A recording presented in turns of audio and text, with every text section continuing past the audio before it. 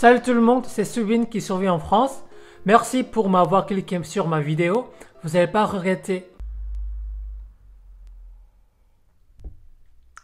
Alors aujourd'hui, je vais vous donner de bons conseils pour apprendre le coréen. Vous êtes en train d'apprendre le coréen ou vous voulez apprendre le coréen?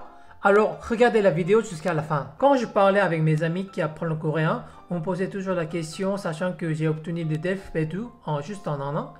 Et euh, est-ce que tu as des astuces pour apprendre le coréen ou le conseil et du coup, j'ai bien réfléchi pour vous euh, partager mes astuces. En fait, la majorité de mes amis français que j'ai rencontrés me disaient qu'ils savaient parler coréen, alors qu'ils connaissaient seulement les petites expressions genre euh, 안녕하세요 ou euh, miane et, très répétées dans les dramas coréens.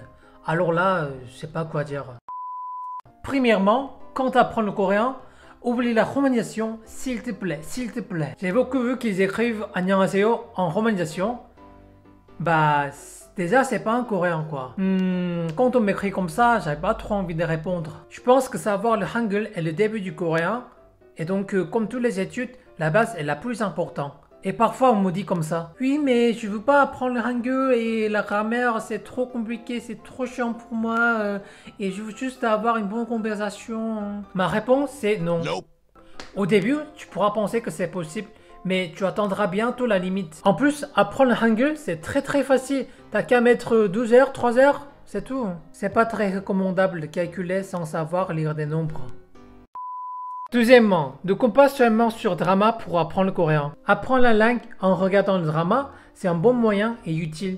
Mais si tu l'apprends seulement avec drama, sans étudier avec les livres, euh, tu peux apprendre les mots répétitifs au début, mais il y aura évidemment des limites. Mais non, je peux bien apprendre le coréen qu'avec drama. À mon avis, je trouve que c'est juste une excuse car tu es tellement teignant que tu peux pas travailler avec les livres.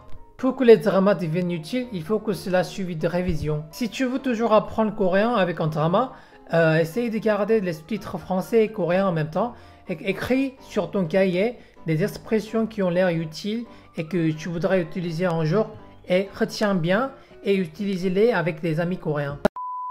Fais-toi tes amis coréens. Il y a probablement des communautés et des églises coréennes dans chaque région de la France. Ils vous accueilleront très chaleureusement pour visiter et socialiser avec des Coréens. Ou alors, si tu vois les Coréens, n'hésitez pas à les aborder en disant que euh, je peux être ton ami, euh, je peux t'aider pour le français. Sois pas timide. Je te jure, les Coréens aussi attendent pour parler avec toi. Je sais que c'est pas facile, c'est très embarrassant, non? Mais moment d'embarras, ça dure que quelques secondes. Mais les regrets, ça durera pour toujours. Quatrièmement, alors comment je dois apprendre le coréen tout seul? S'abstenir de l'excuse que t'as pas dessus et le temps pour l'apprendre? Arrête de dire des conneries. Si t'as dessus, ça sera plus pratique de prendre des cours particuliers, mais pour ceux qui n'ont pas les moyens de prendre les cours, il y a énormément de plateformes où tu peux l'apprendre euh, gratuitement euh, comme YouTube et des applications. T'as pas de 20 euros pour acheter les livres? Vraiment? Sérieux? Ok. Alors, quoi les frapper sur Google Apprendre le coréen. Il y a beaucoup de sites où tu peux l'apprendre. Cinquième, lis ton thème préféré en coréen. Par exemple, aimes bien BTS Tu voudras savoir euh, ce qu'ils disent. Recherche les articles coréens liés au BTS et puis euh, recherche les mots que tu comprends pas. Ok, là, toi t'aimes bien cuisine coréenne? Ok, tu peux facilement trouver sur internet les recettes coréennes. Comme ça, tu peux apprendre les nouveaux mots d'une manière amusante et que tu peux apprendre les recettes coréennes en même temps. Et on peut faire coup double quoi. Dernièrement, il n'y a pas de raccourci pour l'apprentissage des langues. Plus tu apprends, plus tu comprendras.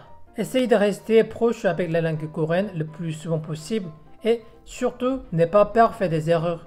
Juste parle, juste parle, parle et les Coréens te trouveront mignon. Regarde comment je parle français. Je parle pas très bien et je suis pas parfait, mais je parle quand même quoi. Et en fait, on dirait que je parle très bien, mais c'est grâce à un montage. Bref, essaye pas de trouver des raccourcis, sinon il te manquera des choses importantes. Alors aujourd'hui, on a vu 6 mes astuces pour apprendre le coréen. Et fais confiance en moi. Si tu fais comme ça, tu pourras vraiment, vraiment parler euh, le coréen couramment dans pas longtemps.